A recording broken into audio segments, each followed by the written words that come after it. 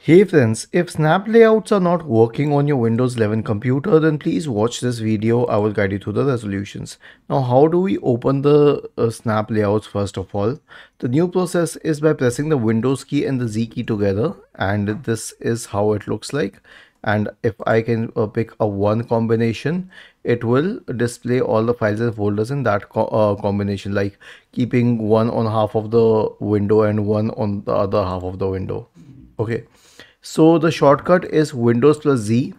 The second solution is to change screen resolution. So right click on the start button and select settings from the menu. Go to system, go to display and uh, in uh, display resolution make sure that the recommended setting is selected.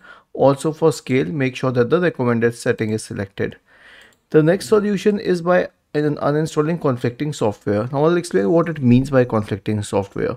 So the snap layout is a feature on your Windows computer and there are many other applications, third-party applications, which impact the display of your computer to make it more snazzy, to make it more appealing.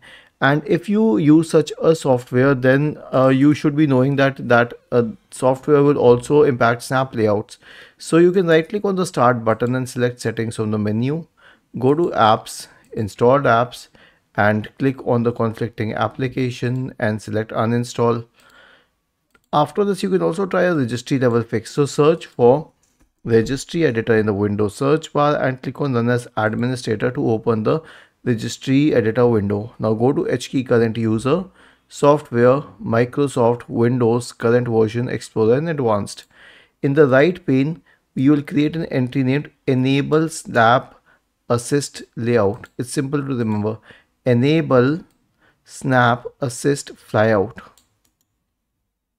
I'll copy it.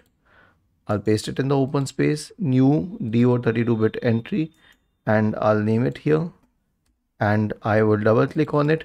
And to enable this entry, I will uh, change the value data to 1 and click on OK. The last solution is an SFC scan. So search for command prompt in the Windows search bar and click on run as administrator to open the elevated command prompt window. Type the command sfc space forward slash scan now and hit enter to invoke the sfc scan. Was this helpful? If yes, then please subscribe to the channel and if not, then let us know in the comment section of this video on how we could help you further. Thank you for watching this video and have a nice day.